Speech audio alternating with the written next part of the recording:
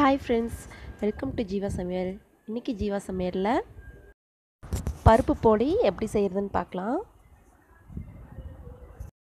இந்த பருப்பு போலிக்கு பூரன் போலினும் இன்னொரு பேர் இருக்குது ஒயிட் சுகர் ஆர் கரும்பு சக்கரை எது வேணால் யூஸ் பண்ணிக்கலாம். இன்றைக்கி கரும்பு சக்கரை வச்சு செய்ய போகிறோம் வாங்க பார்க்கலாம். ஒரு கப் மைதா மாவு எடுத்துக்கலாம்.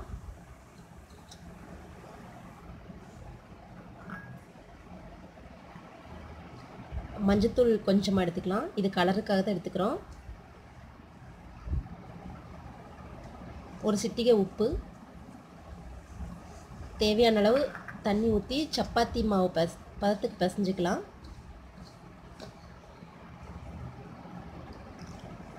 தண்ணி கொஞ்சம் கொஞ்சமாக சேர்த்து பிசைஞ்சுக்கோங்க.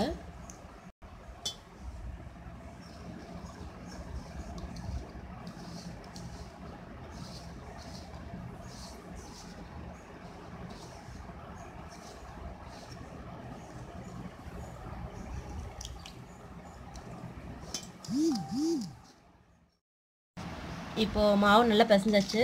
நல்லா சாஃப்டாக இருக்குது பாருங்கள் இந்த பதத்துக்கு நல்லா பிசைஞ்சிக்கணும். இப்போ இது மேலே நல்லா எண்ணெய் விட்டு ஒரு ரெண்டு மணி நேரம் நல்லா ஊற வச்சிடலாம்.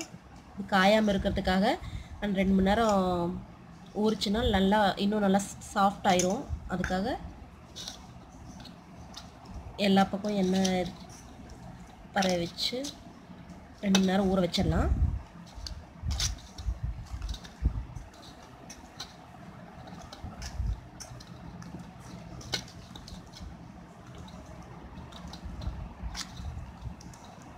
இது அப்படியே ரெண்டு மணி நேரம் ஊற வச்சுருங்க. ரெண்டு மணி நேரம் அப்படியே இருக்கட்டும்.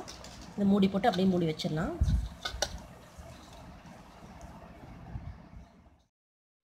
போலிக்கு உள்ள பூரணம் ரெடி பண்ணுறதுக்காக நான் ஒரு கப் கடலைப்பருப்பு எடுத்திருக்கேன்.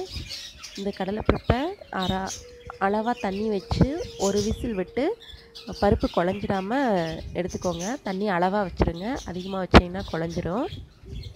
பருப்புக்கு அளவாக வச்சு ஒரே விசிலில் எடுத்துடலாம். இப்போ பாருங்கள் பருப்பு ஒரு விசில் விட்டு எடுத்துட்டோம். அமுத்தி பார்த்திங்கன்னா மாவு மாதிரி இருக்கும். இதுதான் கரெக்டு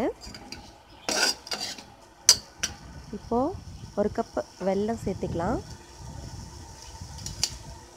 நீங்கள் உங்கள் ஸ்வீட்டுக்கு எவ்வளோ தேவையோ அவ்வளோ போதுமான அளவு எடுத்துக்கோங்க.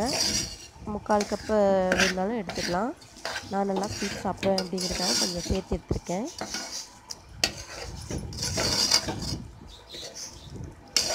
நல்லா கிளறி விட்டுட்டே இருங்க. அடி பிடிச்சிடும். சிம்லியை வச்சு நல்லா கிளறிக்கிட்டே இருங்க.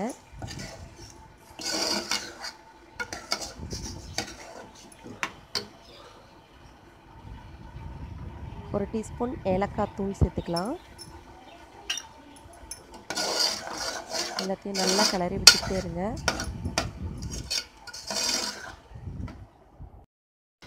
இப்போது நம்ம ஸ்வீட் பூர்ணம் தயாராகிடுச்சு சர்க்கரை இதெல்லாம் நல்லா கலந்து கெட்டி ஆயிடுச்சு இப்போது ரெடி பண்ணிக்கலாம்.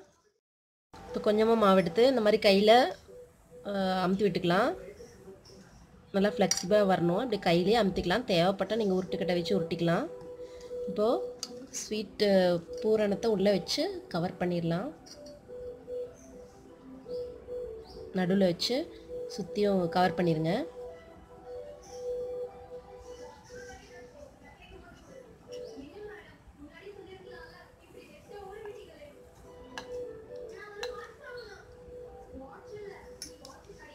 இதே அமுத்தியும் விட்டு எடுத்துக்கலாம். இல்லை நம்ம உருட்டுக்கட்டை யூஸ் பண்ணியும் கொஞ்சமாக அப்படியே உருட்டி எடுத்துக்கலாம்.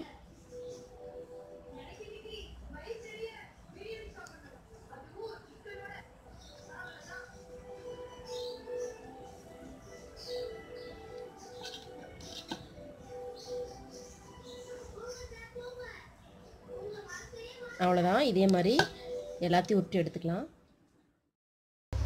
நல்ல நெய் விட்டுக்கோங்க ஒரு ஸ்பூன் புளி போட்டுக்கலாம்.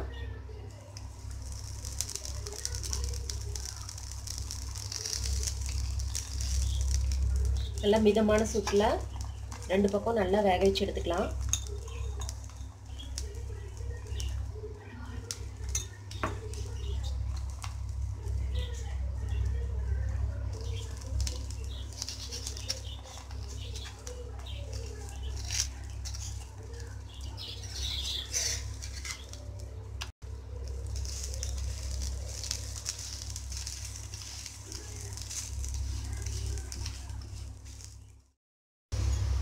நம்ம கோழி ரெடி ஆயிடுச்சு. எடுத்துக்கலாம். இப்போ நம்ம சுவையான பருப்பு போலி தயாராகிடுச்சு நீங்களும் ட்ரை பண்ணி பாருங்கள் ட்ரை பண்ணி பார்த்துட்டு உங்கள் கமெண்ட்ஸ் எனக்கு சொல்லுங்கள் இந்த வீடியோ உங்களுக்கு பிடிச்சிருந்தா ஜீவா சமையலுக்கு சப்ஸ்கிரைப் பண்ணுங்கள் தேங்க்யூ